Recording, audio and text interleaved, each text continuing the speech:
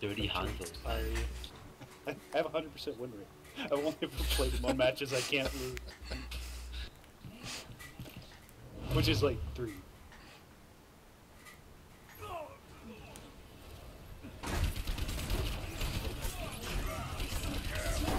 Oh, I messed Watch this mercy juke. Watch this. is- Nope, res. I